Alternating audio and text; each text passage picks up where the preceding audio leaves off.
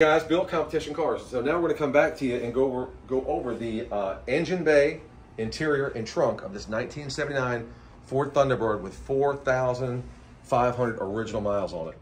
This one has a 351 v8 factory air extremely clean. And what i like about this car is how nice and how original it is.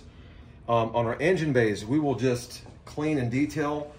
We only refinish things that have lost its original luster so we barely touched anything on this engine bay.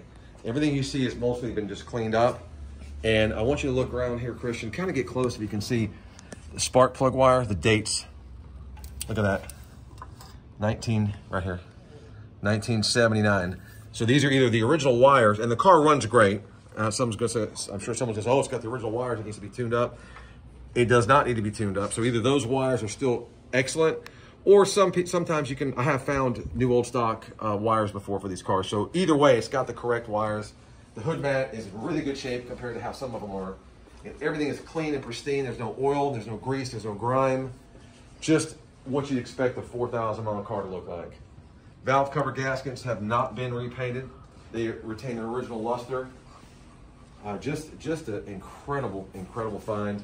And you know, a lot of times these cars, I've had some four and five thousand mile cars that were pretty rough, not because of driving, but just the way they were stored. So the original owner really stored this car properly. So there wasn't really much that we had to do other than just put my final touches and do the paint correction. So there's the there's the engine bay. Now coming around to the interior, equally as stunning. I mean, look at this interior; it's just freaking brand new. The air is ice cold, AM/FM stereo with eight track the only thing that's aftermarket, oh, hang on, look at the wheel. Normally these wheels will get faded or chipped on the edge. I've seen some 12,000, 15,000 mile cars with a little bit of fading, but look how perfect the pristine that steering wheel is. That speaks to the originality. The floor mats, the carpets, the seats, the headliner. The only thing that uh, that is aftermarket in this car, which I think is really cool, I'll tell you in a second. Go ahead and film the back seats. We get the back one off. We'll, we'll go in here. Film under here. Look at the carpet. The original carpets are very clean. They're not dry or faded. They look great. Fronts and are just as clean as the back. So, getting to what's aftermarket, if you want to call it that, is the very period correct. The real. There's a little bit of compound dust out here. The realistic stereo speakers in the back. I don't know about you guys, but I used to absolutely love going to Radio Shack back in the day and looking at their stereos, their speakers, their equalizers. So this is the only thing that I see that's been added. So I don't know maybe if the car may have not come with speakers or maybe that was a dealer installed. I have no idea, but that looks like I'm sure that Thunderbirds didn't come with the realistic speakers that was added by somebody. Original spare, perfect, never been on the ground. Original piece of trim, all the jack is there. Everything in here is as new.